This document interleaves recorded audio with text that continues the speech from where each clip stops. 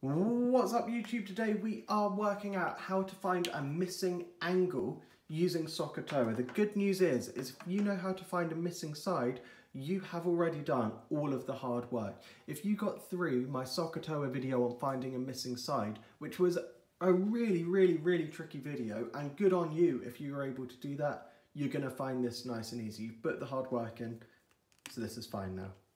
Same as normal. Is this a right angle triangle? Yes. So let's label our triangle.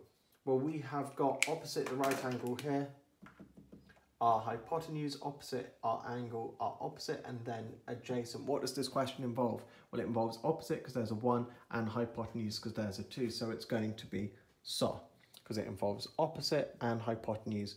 So it's SO. We write out SO,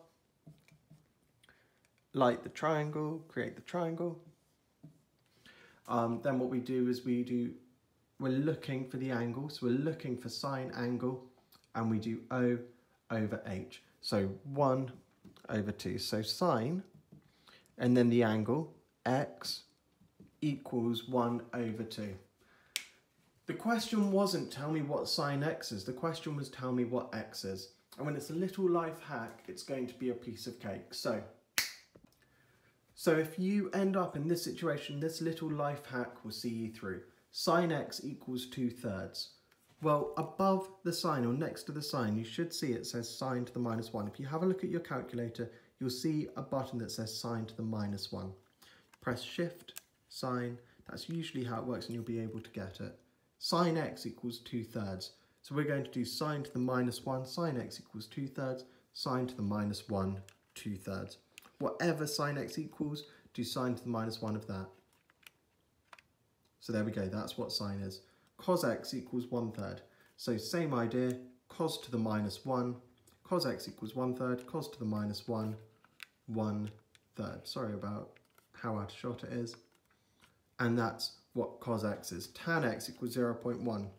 So we're going to do shift tan, tan to the minus 1, tan x equals 0 0.1, so tan to the minus 1 is 0 0.1. And that's how we do it, 5.71. Let's go back to this question here. Sine x equals a half. I don't want sine x, I want to know what x is.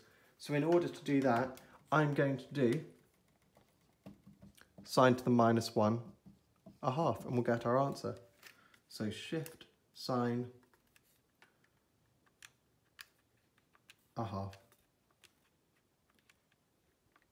30.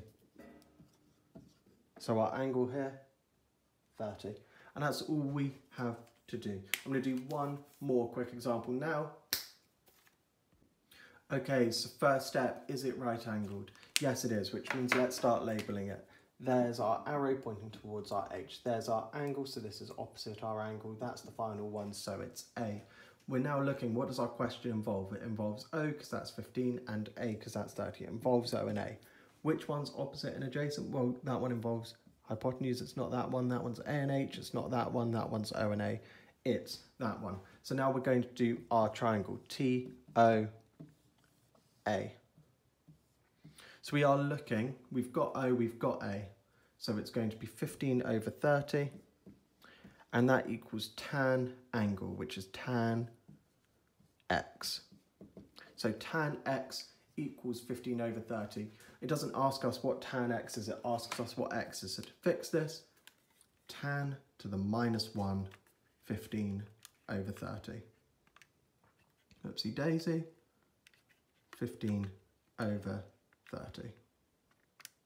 Our answer, 26.5. Let's leave it as 565. So our angle here, 26.565 degrees. Okay, don't forget to like, comment, subscribe. That's how we find missing angles with that one really simple life hack. If it's tan x equals 15 over 30, tan to the minus 1, 15 over 30. Whatever is on the other side, just do tan to the minus 1 or cos to the minus 1 or sine to the minus 1.